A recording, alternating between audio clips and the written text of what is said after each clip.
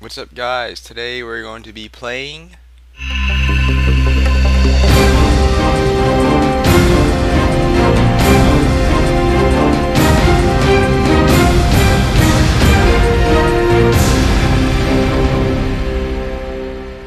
Oh yeah, that's right, Resident Evil 3.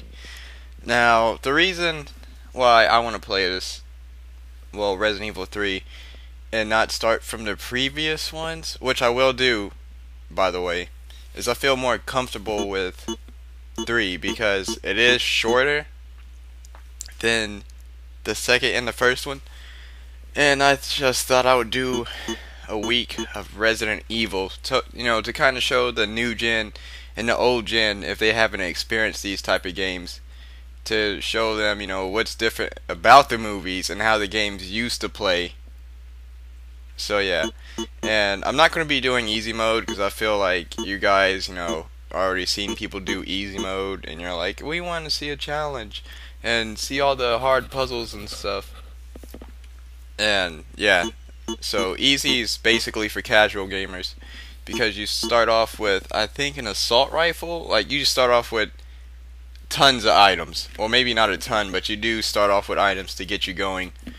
And if you want the real survival horror type feel, do hard mode because you literally start off with no type of items besides, you know, a gun. It, I don't even remember. Do you get? No, you don't get a health pack like in the casual mode or easy mode you get this health pack thing with three first aid sprays.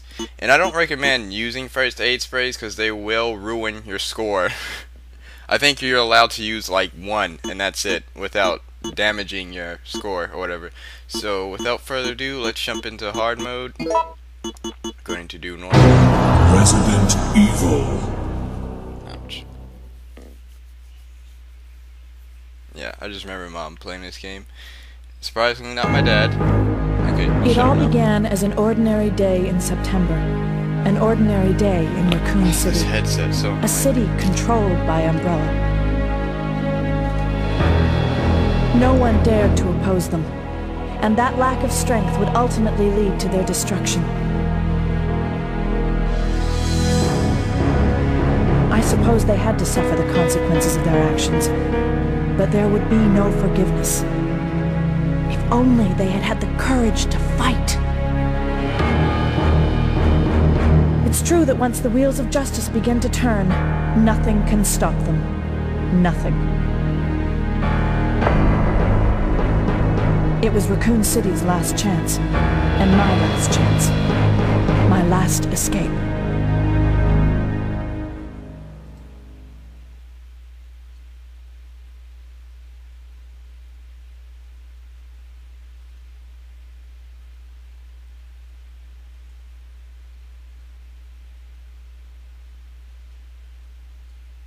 The hell just happened to the audio? Okay, well, This is I'll Chopper try to go Delta, back and fix preparing to drop off at area E95070. Just enjoy this brilliant cutscene.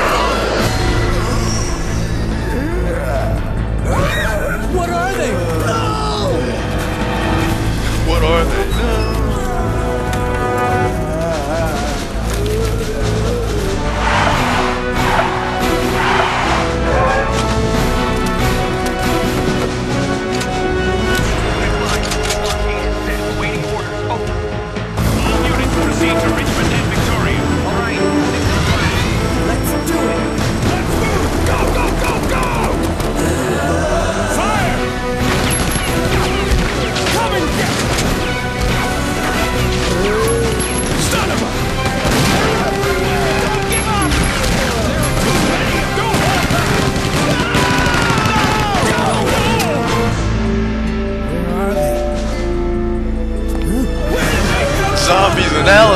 Oh no!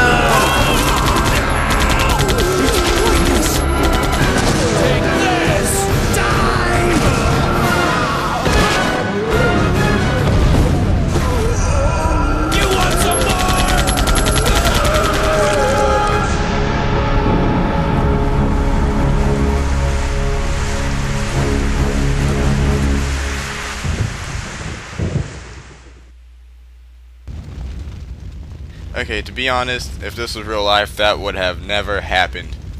It just wouldn't. Alright, and we're back. Let's hope the frame rate doesn't go down. I'm trying to bring you guys some content for this game without it running slow. And by God, I think we got it. Alright, let's do this. Alright, so, yeah, sorry I had to freaking configure a freaking option, so this game would run slow. You can maneuver around these guys pretty easily, just, you know, back them up, take them away from the wall, and take that exit. So, for hard mode, what you'll essentially be doing is, you're gathering up weapons and gear, and you're saving them for the tougher enemies and occasionally downing zombies to get past them. Or killing them. I, am saying you can do it. You can go any direction with that. Daylight. The monsters have overtaken the city. Somehow, I'm still alive. However, I do recommend you do conserve your ammunition because on hard mode, I think it's harder to find and it does take more to kill Okay. regular zombies. We've got to get out of here. What? What do you think you're talking about? I just lost my daughter out there. How dare you tell me to go back outside? What a bitch. You think you'd want to avenge your daughter and kill as many zombies as you can. We have to get out of here. What are you talking about? I'm not going anywhere. I'd rather starve to death in here than be eaten by one of those undead monsters. Now leave me alone. Damn, this dude is extremely bitch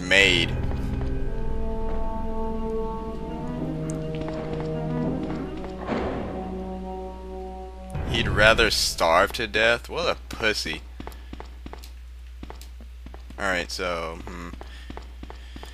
Alright, so yeah, I just remember my mom playing this game a lot. I read those manuals too, or you can just put them in storage, whatever. But I'll, I'll, I'll scroll through it, show you guys what it's like. Oh, that's the map. Game instructions. This explains about various actions, operations on map, screens, and yeah, yada yada. Alright, so basically it gives you the introduction of how to survive in this game. And there's quick turns. I can't remember if it was in 2, but I'm pretty sure it was. In 1, there weren't any quick turns. So all you had to do for a quick turn was basically um, hit your quick turn, I mean your run button, but hit down as you're hitting, or whatever direction you want to quick turn to, and hit your run key as you're pressing whatever direction, like so. See how she just turns around? Okay, it's down, not up, sorry, I lied to you. It's just hold down and you hit your freaking run key, and it does a quick turn. So it does take away from those tankish movements a little bit, so it's not as bad. Alright, let's grab this. Even though, you know, you take these anyway because you might need them if you're not going for a good score. If you just want to say, hey, I beat it on hard mode, and you know, yeah, go ahead, use them. But I think I will stay away from those. They do give you well-placed herbs, or herbs, herbs, herbs, whatever you want to say, you know, however you like pronouncing it. Uh, let me see this. Use this, and this is the introduction manual on how to use the bullets. I would keep this handy if you want to make certain types of ammunition. Basically, it tells you uh, this is the list right here of the standard, you know, how the bullet powders come in, and if you mix them, you get freaking different types of ammunition. So definitely keep this handy, or go back and look at it. Definitely, and it also tells you if you upgrade or make certain amounts of bullets amount of times, or a certain amount of times, they do get upgraded, so your pistol rounds would hit harder, or some shit like that. But yeah, I keep getting sidetracked from my story. I did watch my mom play this a lot. I was entertained, as you would say. I think I was like, what, 10, 8, somewhere around that. And she used to play this game a lot. And I always looked forward to my mom playing this because it was very entertaining. And I was a little scaredy girl. Okay, well, I'm not going to say scaredy girl because I know you so many girls out there like, oh, that's sexist. But I was a little, yeah. Was definitely scared of this game back then. But I've went back and I've mastered it, so whatever. faced my fears, as you would say. Let's put up this ink ribbon. By the way, saves do hurt your score too. So I would only save once, or try not to save at all even.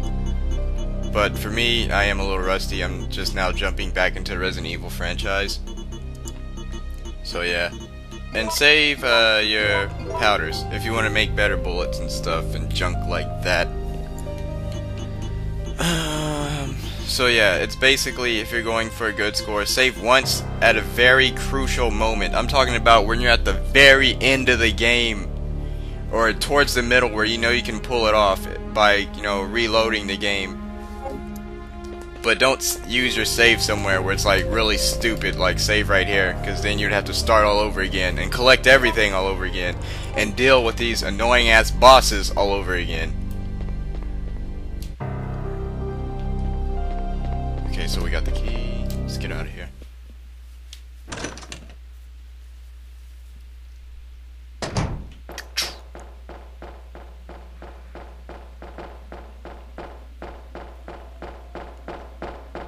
So yeah, if people don't know, this does take place during the same time it was as Resident Evil 2, I think, just from Jill's perspective. I mean, because what the hell? Why would Raccoon City get blown up twice? It's like, hey, it was zombie infested in the second one. Blow it up. Hey, it's a new Raccoon City. No, it's the same Raccoon City.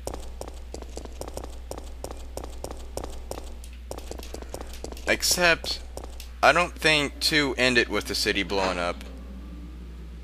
It ended with, uh...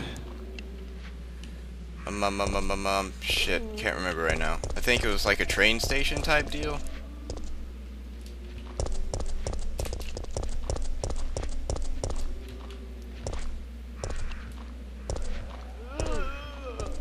Alright, you can just avoid these guys. They, they really don't matter. Oh, wait, crap! Wait, no, when, oh, ah, damn it. Okay, see. Then you just don't do that, and you don't do that either. Let's just wait for these guys to come by.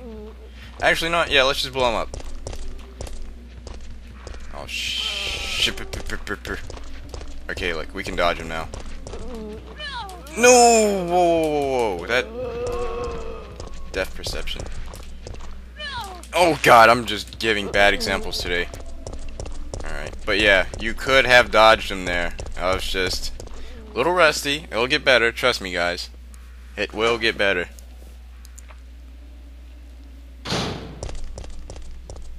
Another thing, yay, you can free roam on the stairs. And the first and the second one, I think you pressed A to interact with the stair and they would just freaking take their time going up the stairs. This one you can move side to side, avoiding those zombies. It's the best. I'm glad they added that in the game.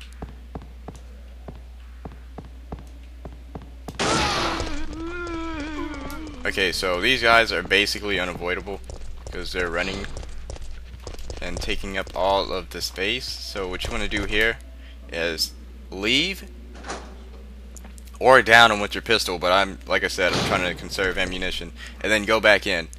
And they calm down, sort of say. They're just, you know, they're a lot more calm. See? Just run past them.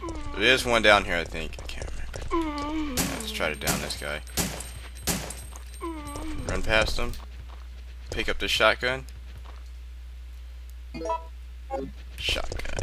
Pick up this lighter fluid too. Or lighter oil, whatever. Equip the shotgun. Take his head off. Just like that. And uh so the shotgun is basically, well, for I, what I think is they put it down there because they know zombies would be camping this door as soon as you came back out. Like a so. So just shoot him. I'm not sure, where's the other one? Okay, good, good, good, good. They're distracted. So yeah. It's basically to have a safe way to get out. And it's a power weapon. Which is also good. But what I want to do is go back and drop off these herbs. Whoa, whoa, whoa, whoa, whoa, Don't you spit at me, sir.